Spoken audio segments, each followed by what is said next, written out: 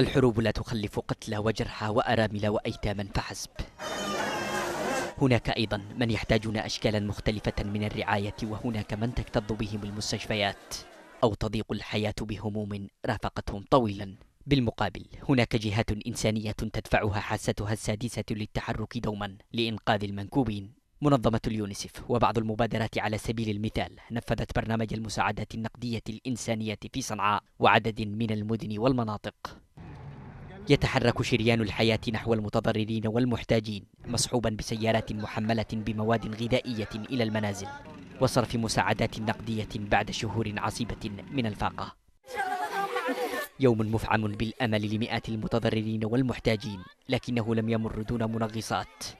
فقد اشتكى مسؤول إغاثة محلية من بطء الإجراءات كما لم تغب الشكاوي من تدخل سلطة الميليشيا المسيطرة على المدن وابتزاز السكان مقابل تسليمهم المساعدات لا سيما في الحديدة وعمران وصنعاء. أما تعز فنصيبها من المساعدات حتى الآن لا يبدو مطمئنا حيث لا تزال المدينة المحاصرة تستغيث وتشكو غياب المنظمات الدولية الإنسانية إلا من حضور المبادرات المحلية والتي لا تكفي لسد حاجة الآلاف من المحاصرين. وتطلق الأمم المتحدة كل مرة تحذيرات من تداعيات الصراع على الوضع الإنساني في هذا البلد. لافتة إلى أن أكثر من 20 مليون يمني يحتاجون إلى مساعدات إنسانية عاجلة. وفي هذا الإطار قال منسق مكتب الشؤون الإنسانية التابع للأمم المتحدة جيمي ماكل غريدريك إن المنظمة الدولية تحتزم تقديم مساعدات منقذة لأكثر من 13 مليون مواطن يمني خلال العام الجاري.